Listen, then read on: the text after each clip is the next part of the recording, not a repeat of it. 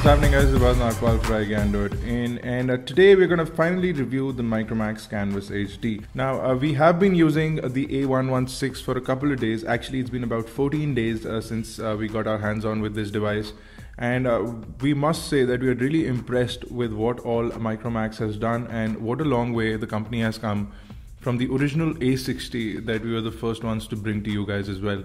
So uh, we've had this relationship with Micromax where we are able to bring you devices and uh, show you their products, and uh, we wish and we hope that we can continue to do this in the future. Uh, but in this whole period, I have personally been able to see the way uh, Micromax has evolved from a basic phone manufacturer to somebody or a company uh, that has become a force to reckon with in the industry. So uh, let's get over all those facts and get on with the Micromax Canvas HD, the A116. Uh, let's talk about the build quality of uh, the product first and foremost. On the front of the display or on the top of the display, something called Layer Protect, which is a replacement for Gorilla Glass uh, that you see on uh, other devices uh, such as Samsung phones and HTC phones. So this is a sort of toughened glass protection that will protect your front screen from shattering really easily. But you also have a nice uh, 2.1 megapixel camera in the front. You have the earpiece over here, and uh, you have the three buttons required for Android at the bottom of the display. Now we have a nice uh, 5 inch display that is a 720p display which is really nice. You have an HD display on uh, this device. Apart from the fact that it is an HD display, uh, you also uh, will need to know that it has a really high PPI which is 294 pixel per inch which is extremely nice for a 5 inch display. Uh, it is also an IPS LCD screen, so viewing angles are phenomenally good on a phone that costs only 13,000 rupees or 13,500 rupees or 13,900 rupees depending on which state you're buying it in. If we turn the device around, uh, you'll be able to see we have an 8 megapixel camera at the back which does do full HD video. Uh, we were able to capture a video sample and show to you guys as well so you can check out our video uh, sample on uh, YouTube as well you will be able to see that the design element of uh, the phone is quite reminiscent of uh, the design element of the One X Plus. So on the back, it almost looks identical. You have the speaker grill at the bottom and you have the curved sort of uh, back and it is also a mix with the Galaxy S3. So if you look at all three devices, it looks like you fuse these two together and you get something like uh, the Canvas HD. So essentially at the back we have an 8 megapixel camera, full HD video. You also have dual LED flash uh, which is in here. It actually is a single flash that uh, disperses into a dual flash that does a good job of lighting the subject. And uh, you have the Micromax logo. The back panel honestly looks really nice and glossy, but at some angles it looks like it is faded or the color is changed. It's got the pearlescent white color so if you are looking at light reflecting through it, you'll be able to see yellow on one side and white on one side. That may not look nice to some people, uh, but it does look elegant if you look at it uh, directly from the front. So it looks nice in that manner. Uh, on the top, you have the 3.5 millimeter headphone jack and the micro USB connector, which are both on the top of the device. On the right is the power lock and unlock button, and on the left is uh, the volume rocker uh, for the device. So the phone uh, looks really well designed. It looks a lot more expensive than it is. Uh, the only thing that gives it away is uh, the Micromax logo, which is at the bottom of the back. And that's about it. Nothing else can tell you that this is a phone that is actually a budget phone. Let's talk about the insides of the device. Now, we do have a MediaTek MT6589 chipset, 1.2 gigahertz uh, quad core processors. You also have a PowerVR SGX544 GPU and we have a 2000 milliamp hour battery on uh, the device. Uh, the total weight of uh, the phone is 156 grams, which is slightly on the heavy side. And um, we have a total of 4 gigabyte of inbuilt storage, out of which about 1.7 gigabyte is user available, and we have 1 gigabyte of RAM on the device. So that is a total look at uh, the hardware on uh, the Canvas HD. Let's talk about software. So in our day-to-day usage, we found that the phone performs really well. Uh, you have your Android OS layout, uh, a couple of customizations done by Micromax. So you have uh, a nice uh, notification panel that lets you turn on Wi-Fi, etc., Bluetooth, GPS, all of those things. Uh, from the top over here, uh, you also get your notifications over here. Your SIM card information is also available over here. you have Google now inbuilt into the device, so that's good. That is something that will allow you to utilize the Jelly Bean interface uh, directly from the device. You do have a couple of applications that are pre-installed, but I don't see you using most of them anyway. So uh, you'll be going on to the Google Play Marketplace and downloading several applications from the Android store. So in terms of interface, we have a basically vanilla interface with a couple of customizations done by Micromax. Uh, you can see that you have a custom dialer. Depending on what SIM card you want to make a phone call uh, from, you can choose that over here.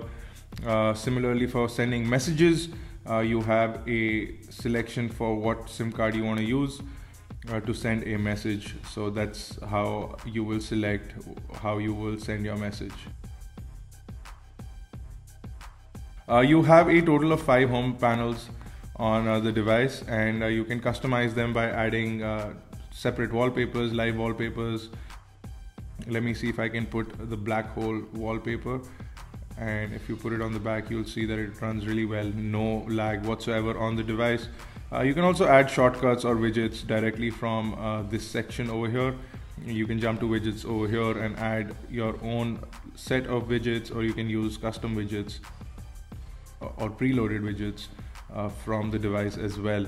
So that's nice. Uh, you can download widgets or you can install widgets. You'll notice that the Google Now or the Google search bar remains on top throughout. So that's good. Uh, you do have a couple of applications that Micromax adds. So you have M Live, M Store, and M Zone. You also have the Hookup uh, Messenger, which is a free messenger. You get all those uh, directly on the device. So if you're interested in using those, you can. If we talk about phone call capability, we found that the networks were really solid. Uh, we didn't uh, find any issues with the networking capabilities uh, of the device, and we were pretty happy with the way the phone handles phone calls. There is a little bit of distortion in the earpiece, but that could be because of networks, but we've not faced it with any other device. Uh, so one needs to really understand why uh, this phone goes into that situation. If we talk about uh, networks on this uh, device, again, we have uh, for 2G uh, bands, we have GSM 900 and 1800 and for 3G we have HSDPA 2100 so it will work in most countries. It works on all carriers in India and uh, it does work on uh, T-Mobile in the USA as well as UK Optus and Vodafone in Australia New Zealand uh, Bell in Canada, among many others in uh, several other countries, including Brazil, etc., etc. So Micromax is prevalent in many countries nowadays, and uh, this phone works in a lot of them. One more issue that uh, Micromax has uh, resolved with the Canvas HD, which uh, most people were facing. with the previous generation of Canvas was the AGPS location. So if you go into GPS satellite settings, you can turn on all your GPS information and uh, once you do that uh, the device will be able to locate you directly where you are and it works really well. So it does triangulate you on exactly where you are and that is wonderful. It works really well on uh, the canvas hd and we are currently indoors. Most devices have issues uh, getting our location indoors uh, but the canvas hd does it without any problems whatsoever. If we talk about the display we have a really nice and crisp uh, 720p display. It plays videos really well, and video playback is really smooth. Uh, for the most part and it will play back full HD video. You will have brilliant viewing angles and we have a really nice uh, speakerphone. It's not the best speakerphone uh, that you can get, uh, but it's a decent speakerphone, so we are really happy with it. So we are going to quickly play back a video uh, that I shot in Sydney uh, for the HTC One and you'll be able to see what wonderful viewing angles uh, there exist on this device. Quickly let it buffer up.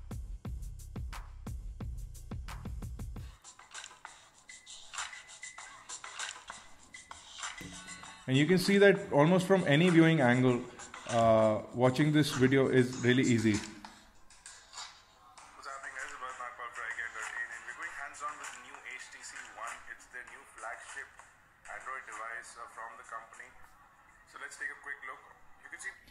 You can see that the colors are really nice and vibrant and really accurate and uh, this is exactly how it looks on the device as well.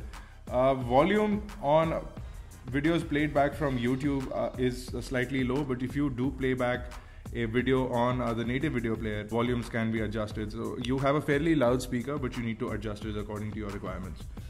Uh, so that's a quick look at display and video playback on the Micromax Canvas HD. If we talk about gaming, you should take a look at our gaming video on uh, the Canvas HD. We were able to run most of the games without any issues. Uh, we did face a issue with uh, games that are larger than 1.6 gigabyte in size. Uh, that's simply because we don't have enough storage space on the device. So games like Nova 3 uh, Asphalt 7, um, Modern Combat 4, and uh, several other games that are really large in size did not install on this. And we feel that Micromax is really, really lost out on this opportunity. They have done almost everything that we required for this device. I've uh, every time I have spoken to Micromax in their previous releases, I've asked for more RAM, I've asked for a better display, and uh, they have delivered a really beautiful display. They have delivered RAM uh, but the one thing that they really missed out on was internal storage. So this is what I say that they should add extra storage. They should give us at least 8 gigabyte of uh, usable storage, uh, even if they charge us a thousand rupees or so extra for the device.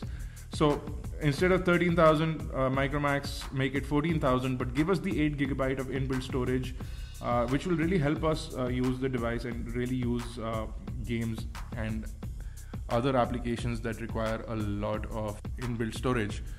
If you talk about battery life on this device, initially when we started using this phone, we were using it really, you know, in depth. We were trying out uh, games, we were trying out the internet, and battery life was on the low side. We were charging it about twice a day.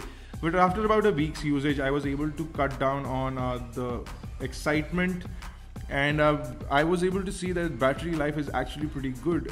When I compared it with the battery life on the Canvas 2, I saw that we have an impressive improvement on the Canvas HD. We have at least a good 5 to 8 hours uh, of uh, talk time on a 2G, about 6 hours of talk time on 3G, which is absolutely brilliant. I was able to play music for about 10 hours on a straight stretch, 2 hours of video playback on an average, and a good 5 hours of internet browsing on this device, which is really, really nice. That is all these things done separately, but if you use them in a day, you get about 3 hours of talk time plus one hour of internet usage, so Facebook, Twitter, etc. included, and about 30 minutes of gaming, an hour of video, a couple of um, hours of music, and uh, you still have about 18 to 20 percent of battery left at the end of the day. That is really good for this device, especially considering the fact that it has a 720p display, so which consumes a lot of battery.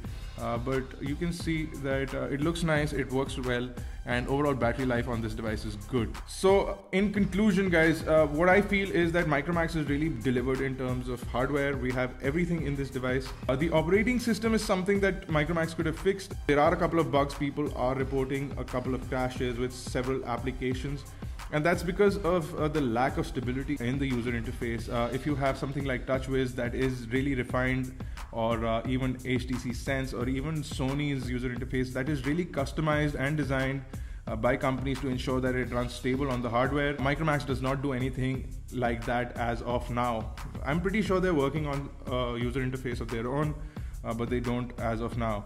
So a couple of uh, applications will crash. Uh, the phone, however, has been quite nice. Uh, it is really fast and responsive. And I've been able to use it without much worries. It did crash on me a couple of times while using the camera as well.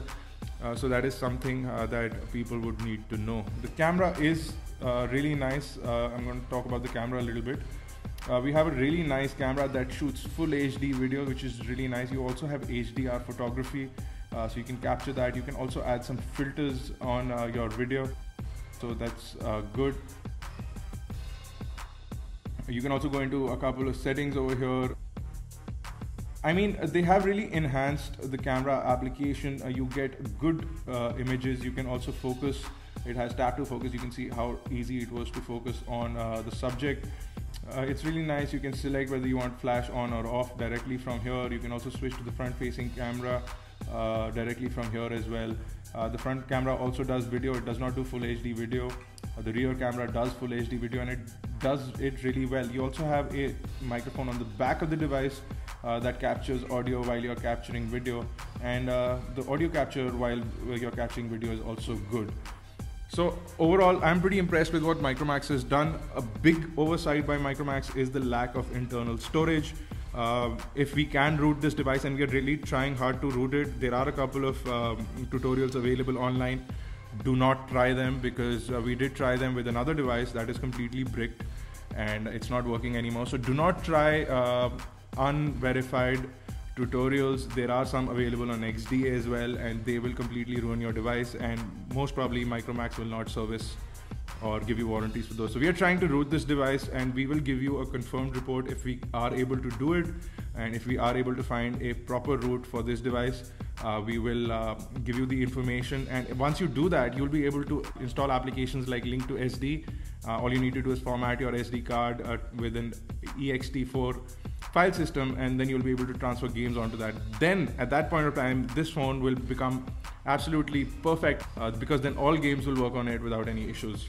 So there you go guys. Uh, we feel for a price of 13,000 rupees or 13,000 to 14,000 rupees if you can live with a couple of crashes a week I, I say about one or two crashes a week and if you can live with the fact that Micromax has been in the past associated with being a cheaper phone uh, versus uh, something like a Samsung, then I think this is the best phone that you can buy under the 15,000 price bracket. This is absolutely genius phone. It is a wonderful phone. It does great multitasking. It has a beautiful display.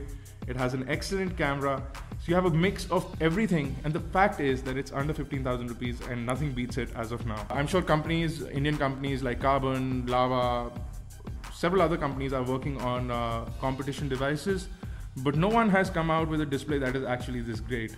And uh, the quad-core processor on this is also a first for Indian manufacturers or budget phone manufacturers. So it is a budget smartphone, but it does not work like a budget smartphone. It works really well. Uh, the comparison of the processor uh, is uh, really detailed. You can check out our full detailed review on iGyaan.in. You will really appreciate it. Give it a read, guys. Uh, check out the link. It's linked on the video right now. Uh, if you have any questions or queries, you can leave them in the comment section below or catch us on Facebook, Twitter, Google+. Plus. Do subscribe to us on YouTube, youtube.com slash iGyaan, youtube.com slash iGyaanTV. And until I see you next time, guys, this has been Bharat Nagpal.